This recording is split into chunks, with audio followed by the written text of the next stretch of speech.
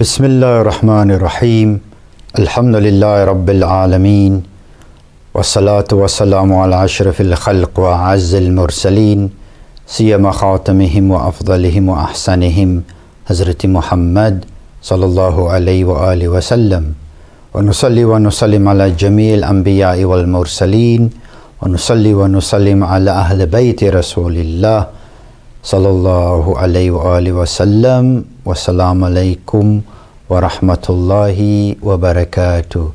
Today is the 25th of the holy month of ramadan 1443 or 2022 and we wish you a day a day of success.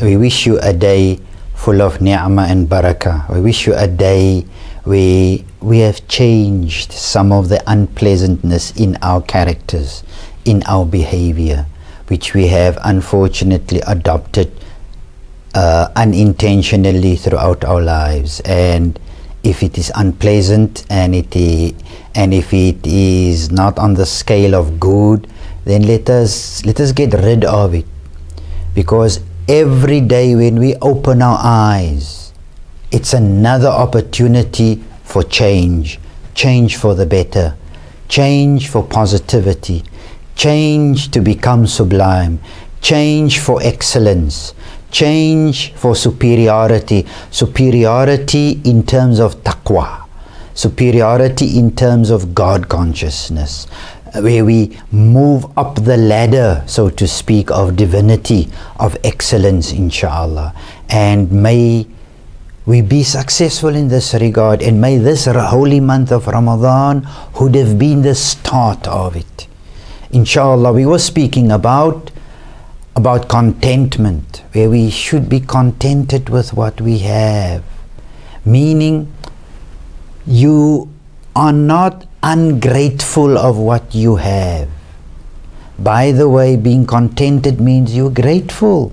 But that doesn't mean you don't want to expand your horizon, not in an ego sense, not in a greed sense, not in a sense where you see things from others and you want those things in a negative way. No, in a positive way where you can expand and serve Allah and serve humanity even, you know, but not in a greedy sense. Let us look at a few anecdotes, you know, of our masters, and one of them is Imam Muhammad al Baqir, where he mentioned, and this is in the book of Al Wafi, where Imam al Baqir says, Beware your eyes shouldn't rest on one more affluent than you. What you have should satisfy you. Allah has said to His Holy Prophet, Let not offspring and wealth put you on trial.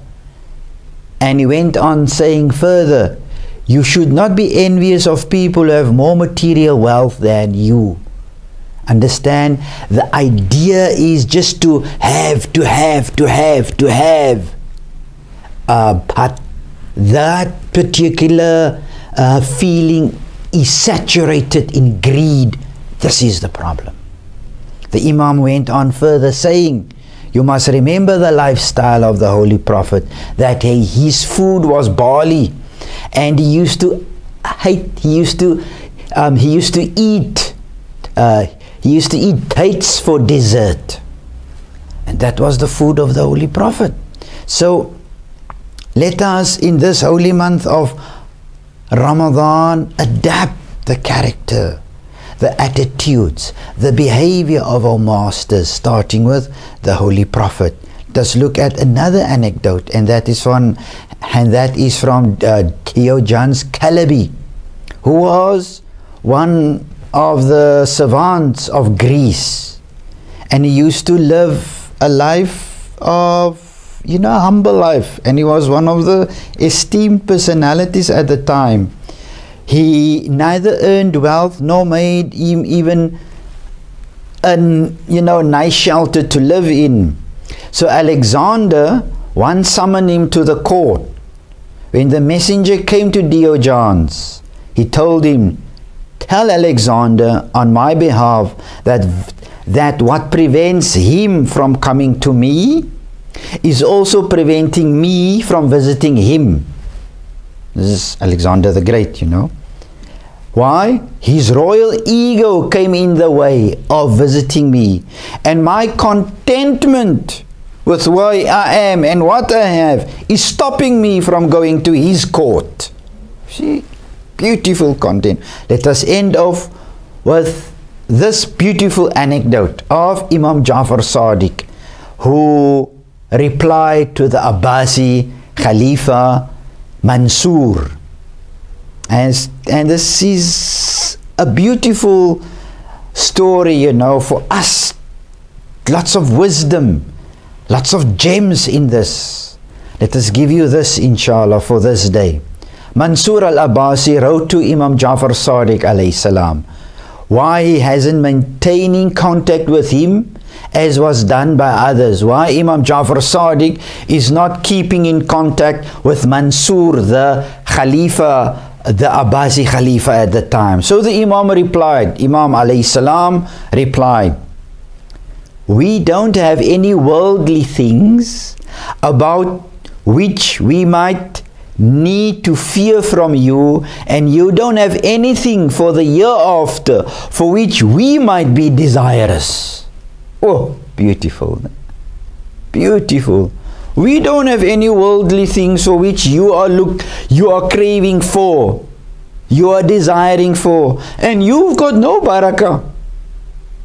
This is Imam Sadiq's words to the Khalifa, the Sultan, the Khalifa at the time. And Imam says, You don't possess any blessings for which we might facilitate you, nor are you afflicted with any calamity that we need to give condolences to you. beautiful, beautiful. It's it's an akhlaq, uh, ethical attack on the Khalifa. You should attend to our court only for the purpose of sermonizing us. This was the words of, of Mansur. Then Imam replied, one who is seeking the world doesn't need our, our advice. And the one who is looking forward to the year after wouldn't be in your company. beautiful, beautiful. You see, Imam contented. Not even fearing the Khalifa. The Khalifa is summoning him. And he's, yeah, Imam Jafar Sadiq, you have nothing for which I need to come to you. And I have nothing because he's a man of dunya, a man of wealth, a man looking at position and power and all of that. I have nothing like that for which that would be the reason that you would come to me. And you have no akhirah for me. Oh, beautifully, beautifully, you know. May we act like Imam Jafar Sadiq and our Master Salamullah alayhi. And may this day be a day where we develop qana'ah, where we develop contentment. Let us have contentment. Let nothing entice us so that we can be pushed towards or, or attracted to anything that is worldly and material. And inshallah, with this, that is our wealth. That is wealth. And with this, we wish you a day of success a day full of barakah, a day full of contentment. Wassalamu alaikum wa rahmatullahi wa barakatuh.